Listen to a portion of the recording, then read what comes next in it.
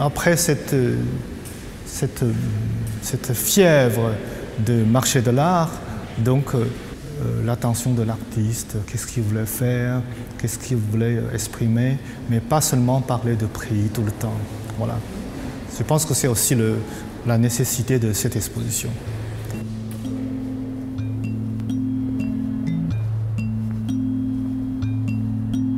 Dans les années 90, c'était euh, tout ce qui se passe, euh, ça se passe beaucoup de choses. Il y a plein d'expositions étaient fermées par les polices, etc.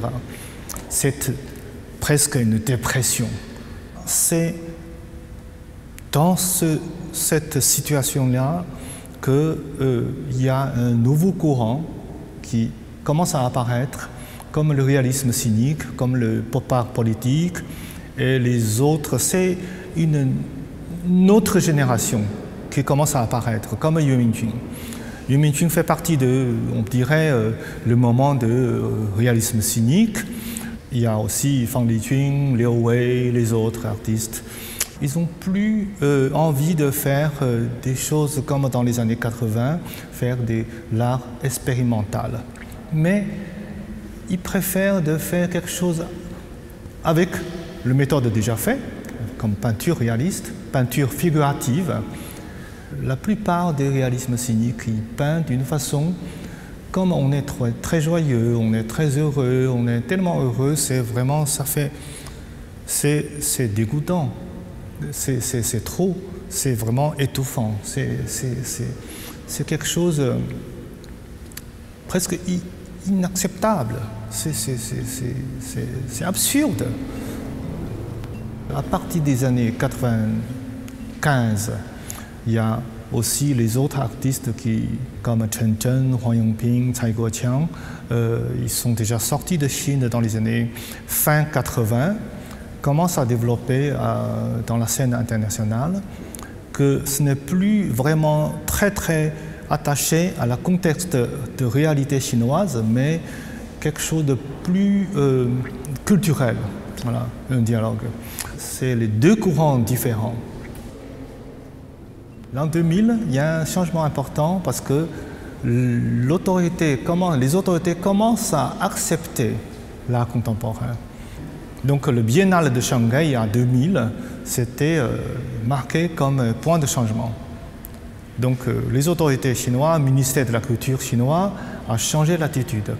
Donc euh, ça commence à suivre les règles de un commissaire fait une exposition sous forme l'art contemporain. Donc ça a duré, ça a duré jusqu'à maintenant. Donc un peu, un peu ça, hein, c'est dans ce système.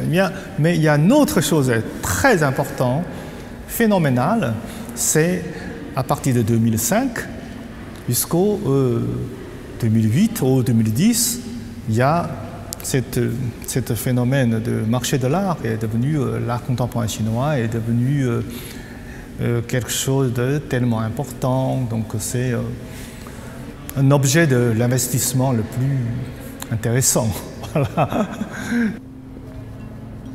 Il y a certains artistes devenus très, sont devenus très riches, mais aussi ça crée des illusions, ça crée des modèles, ça crée de, euh, de façons de penser, ça change beaucoup. Je pense que depuis ces dernières années, depuis surtout euh, deux ans à peu près, que le marché de l'art chinois commence à perdre sa sa dynamique. Euh, donc euh, ça ne marche plus vraiment très très bien dans la scène internationale, mais c'est peut-être une bonne façon de euh, retrouver une bonne moyen de regarder les œuvres, l'attention de l'artiste, qu'est-ce qu'il voulait faire, qu'est-ce qu'il voulait exprimer, mais pas seulement parler de prix tout le temps. Voilà. Je pense que c'est aussi la nécessité de cette exposition. L'exposition, il est important parce que c'est la première fois que les œuvres de Yue Mingqing peuvent se rassembler d'une telle façon, euh, très sélectionnée en plus.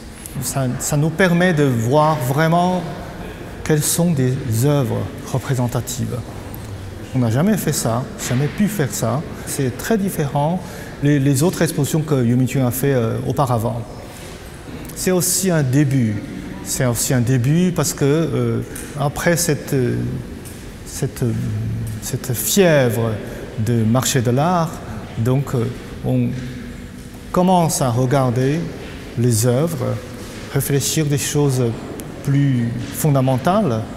Euh, c'est le moment et c'est le commencement.